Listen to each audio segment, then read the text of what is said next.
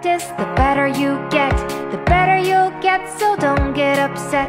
The more you practice, the